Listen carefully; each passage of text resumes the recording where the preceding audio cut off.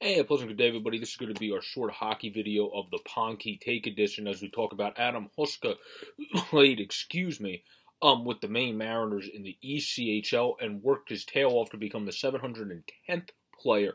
I'm going to be doing a one on Christian Rubins next about how he was the 709th before Huska was called up for the Toronto Maple Leafs and is playing solid with them as a big boy defenseman there. But Huska, after playing very good, uh, having a 920 save percentage, didn't do great against the Phantoms yesterday, but their team didn't protect him that well against the Lehigh Valley Phantoms. He's doing very well for Hartford and had a very solid, not a great season, but he had a great season in three games and not a season, but a great stretch in a couple games in Slovak before coming back, and then was solid last year and put up more backup numbers. But with Maine in a three game stretch, he was very good.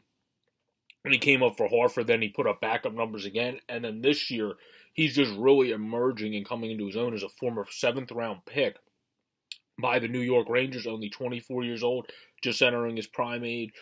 Uh, he's a guy that's definitely a very capable third goaltender. In his first game, he didn't look all that hot, but he also faced one of the best teams in the league. Um, and the Rangers did not really protect in front of him all too well in that particular affair. So I think Adam Huska has a chance to be a very good third goaltender. It's now seeing if he can move up from being that very good third goaltender to a very solid AHL starter. It looks like he's developing into this season and be a very good player, just like we've seen Quick be in the past, Binnington B. now, and other goaltenders in this league that have once saw the ECHL and developed their game all the way up to the NHL level, which is quite possible because, like I said, he's a 710th guy. It's not like there's just been a handful of guys, there's been a bunch of guys that have done it. And it was nice to see Adam Huska get his chance.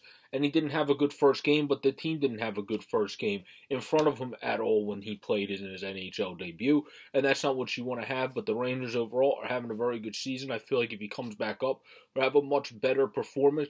And it's something that when he get, goes up, and even though he had a bad game, he now knows some things he needs to work on even more down in the minors. And I think it's just all but going to help him.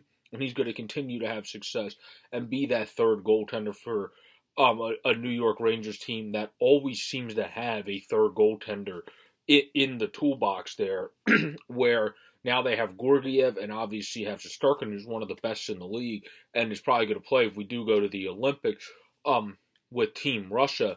But now you have Adam Huska as well, who's developing very good as a seventh round pick from 2015. So you can never have enough goaltending. The Rangers have an extra guy in Huska, killing it with the Hartford Wolfpack and then he's going to get a chance, I would think, once at some point to probably be the backup of Igor Shesterkin because it, obviously Georgiev's been in trade rumors all the time.